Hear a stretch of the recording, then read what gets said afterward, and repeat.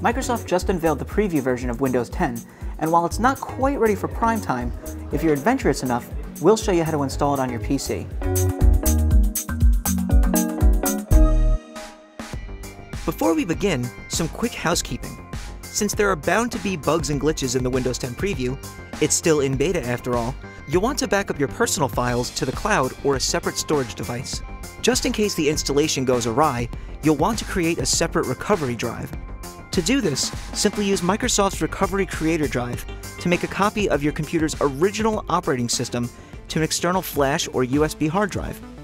Next, you'll need to take the necessary steps to update your PC. Now, to gain access to the Windows 10 technical preview, you'll have to become a member of Microsoft's Insider program.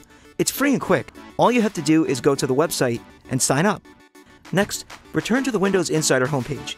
Click Continue a few times, then click to get the preview to begin downloading the Windows 10 software.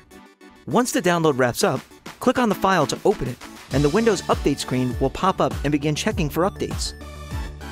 Next, a new prompt will appear that reads Upgrade to the Windows 10 Technical Preview. Click Install, then click Let's Get Started. This will be the last chance to change your mind, so be sure you want to take the risk. Once you click Next, it'll take 20 minutes to install. So, you'll have plenty of time on your hands.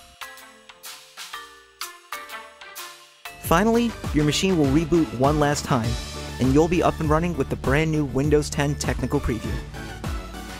To view our complete list of steps and more Windows 10 coverage, check out yahootech.com.